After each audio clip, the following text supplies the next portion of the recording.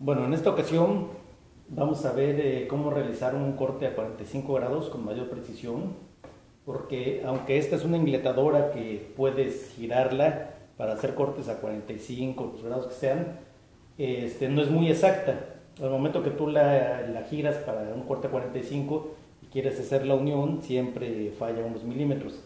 Entonces, para hacer un corte un poquito más preciso, eh, lo que puedes hacer es que en una tabla eh, con la escuadra de 45 grados, marcar, marcar los 45 grados y después atornillarle o clavarle dos pedazos de madera, así como estos, que quedan a 45 grados.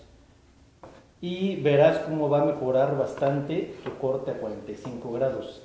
De hecho, ahorita lo vamos a ocupar y por ejemplo vamos a cortar este, vamos a unir estos dos.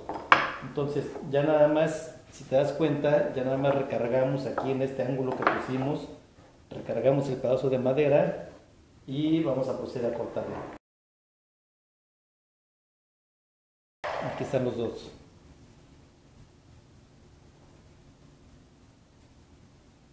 Ahí está, mira. Y ahora lo que vamos a ver, lo que vamos a hacer para que veas que tiene bastante precisión es con la escuadra de 45 grados Vamos a ponerla así. Ahí está. Para que veas que es un corte casi perfecto.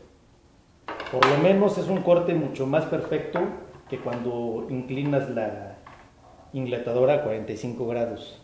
Espero que te sirva esta opción para hacer los cortes a 45 grados y suscríbete y muchas gracias.